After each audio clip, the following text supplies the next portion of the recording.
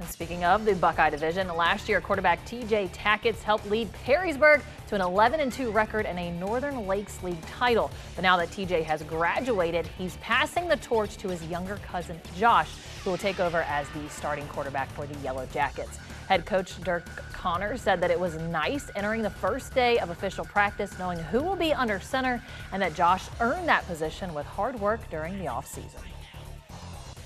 We had some competition there over the summer, and Josh has done a great job of developing himself over the last two and a half years and just kind of earned the job. He's, he's very poised. He wants it bad. He prepares himself very well, and you know he's developed himself physically in the off season incredibly well. And so you know we're excited about him calling the shots, and we're glad to have kind of all that stuff behind us and moving forward, knowing who our signal caller is. For us, it's the same. We, we want to win no matter who it is or what it is, and so we don't carry that chip necessarily. But I do think you know if you talk to the teams, we all kind of want to be the first.